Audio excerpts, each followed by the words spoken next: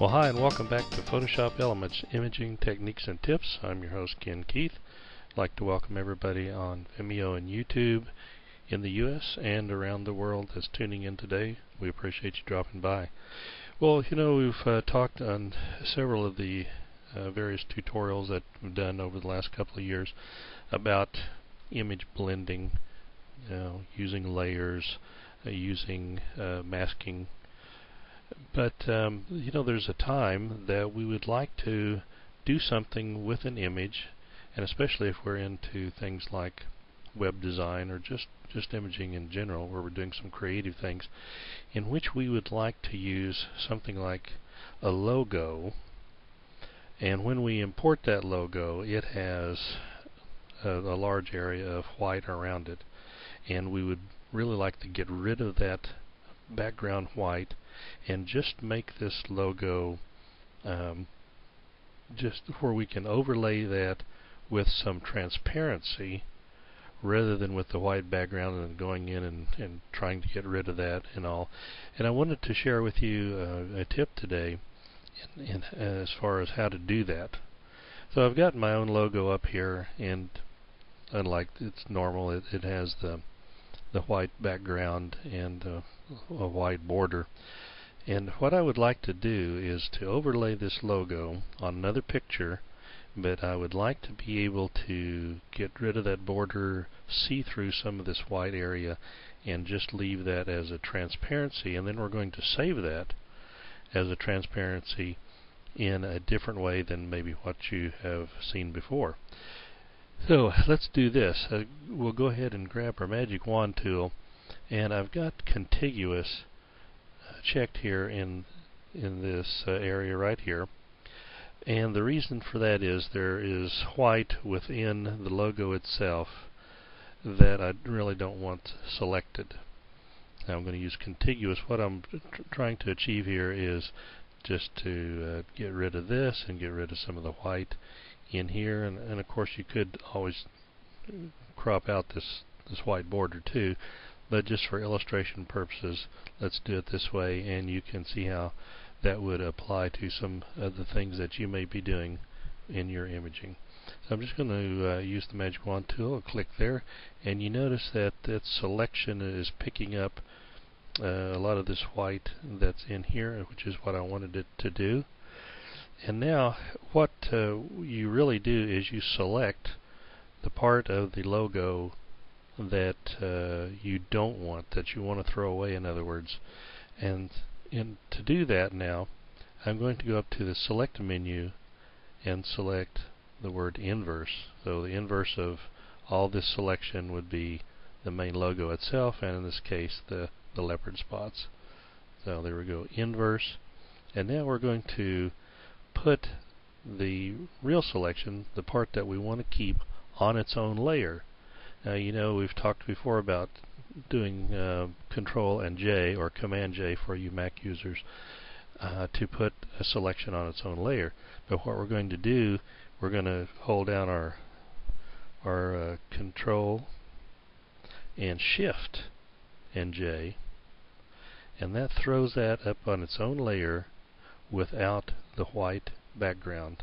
And if you want to see that, you can just uh, cycle off the little eye icon here with the background and there it is. You see the little symbols that indicate that this is transparent pixels. So now the border's gone and all the little white area within the, between the leopard spots is also gone. And then what you can do is just uh, you don't need the background layer anymore so we're going to click on that we're going to drag it right to the trash can alright and then if I wanted to overlay that I'm going to put it on this picture for example. So you're going to drag and drop it in and there it is. It's borderless and we have the little um, the leopard spots in there and you can see behind it in the background and if I want to move that and rescale it uh, like this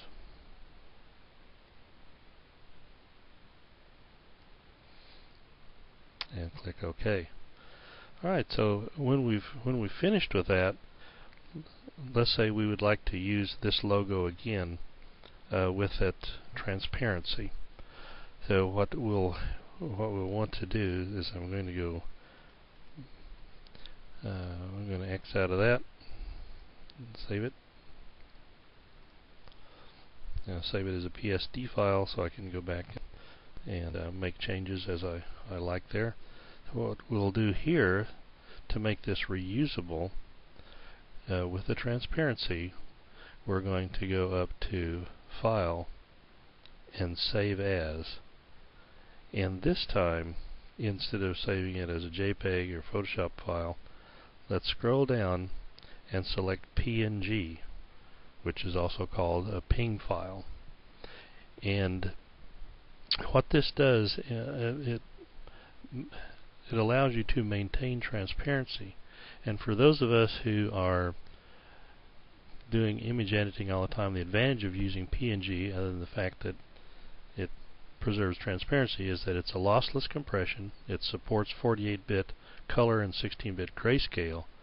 Plus if you're doing things like saving restoring and resaving images there won't be any image degradations. And if you save these things as JPEGs uh, that's something that will happen. And also if you save this as a JPEG you're going to uh, not be able to have that transparency. It is going to be white again in those areas. Alright PNG like I say pronounce ping. And just for your own information that means portable network graphics. And if you'd like to read about that some more if you're interested you can just go ahead and google up PNG file format and you can get a full history on it if you're uh, technically bent and you'd like to uh, see some additional data on how it's used. Okay, now to wrap up is something that's uh, not related, but I've had some questions about this and I wanted to go over it even though we have alluded to these things sometimes in the tutorials. Let's just uh, answer those questions from the viewers out there. And this has to do with your rectangular and elliptical marquee tools. Alright, your marquee tools live right here. There's a little nest of two tools, the rectangular one and the elliptical one. And as we've discussed before and reiterate here, as you draw out your selection, let's say that you have decided that you really started in the wrong place. you don't have to start over. You can if you want to, just by undoing it. But instead of doing that, just hold down the space bar and also you have to be holding down your, your mouse. You can just move it around as you like. Once you let up on the space bar, if you need to change the width, the height of your selection, you do that. Hold down the space bar again, move it. And the same thing, of course, applies to the elliptical marquee tool. Now the next thing we want to do is, with these two tools, let's make two more tools for selecting. And one is by, here's uh, with the rectangular marquee tool. All you would have to do then is hold down the shift key as you draw and instead of a rectangle you get a perfect square. If you are selecting the elliptical marquee tool and you hold down the shift key ins instead of a an oval you get a perfect circle. And then the next thing I wanted to mention here is that your anchor point for starting one of these uh, marquee tools uh, by default is wherever you do your initial click. So if I do it here, it's going to expand outward from that point. But let's say for example that you are are doing something in which you'd like to be precise and make that selection starting from a certain point but instead of that being the anchor point where you click your anchor point is actually the center of the selection so that it comes outward in all directions as you drag out. So just before you start drawing, hold down the Alt key or the Option key for you Mac users and there your selection will come out right from the center.